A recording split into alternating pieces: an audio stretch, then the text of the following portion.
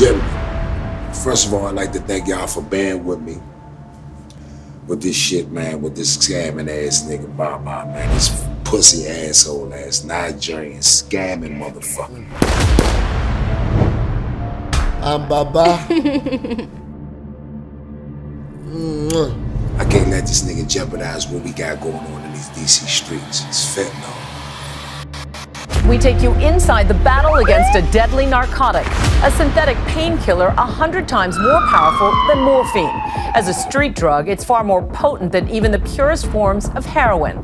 Fentanyl is taking the opioid epidemic to a new level of urgency. I done met with the youngins from Cape Bazan over Eastgate. The one-year-old shot down Southwest last night.